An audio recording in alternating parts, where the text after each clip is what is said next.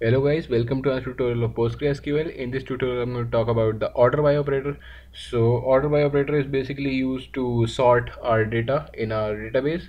So if you consider an example of a social networking website or social networking application, you need to sort the data. Like you want the recent data first and then you want to uh, show the older data. So for this, we will use the order by operator that is used to sort our data eh, according to uh, a column. So for example, I want to sort my data first of of all uh, according to the salary of the employees here like I want the least salary to be first and then I want uh, the salary to be increased and I want to sort my data according to the salary so I will use the order by operator that is uh, select star from uh, company order by salary so when you run this query you would see that uh, it is already ordered by salary. So like suppose I want to order it by age now. Like I want the least age to be displayed first then I want the maximum age. So just order it by salary or uh, oh sorry order it by age. And you will see that the least age is displayed first and the maximum age is displayed at the last. So by default this has a setting of ascending order like it will display the least result first or this is the ASC that is ascending order. If you run the same it would run again. And ASC is ascending order that is the default setting of the order by clause.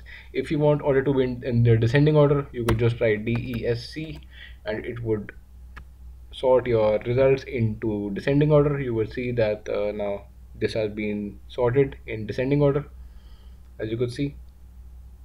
So this is the use of order by clause.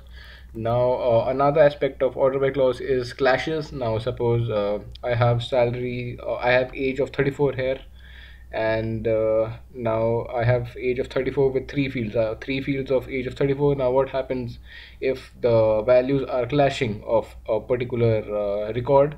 So you could order by multiple like you could use order by age and then salary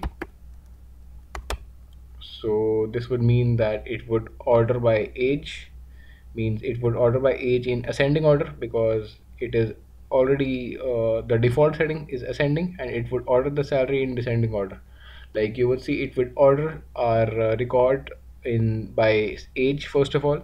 So it would show me I will just show you it will show you the least age first of all that is ASC so it will show me the least age first of all and now I have clash in 34 34 and 34 and the clash will be sorted by the salary that will be in descending order. You would see that uh, the maximum salary oops two salaries do not exist here. Um you could see it uh, mm, okay I need to add this first of all.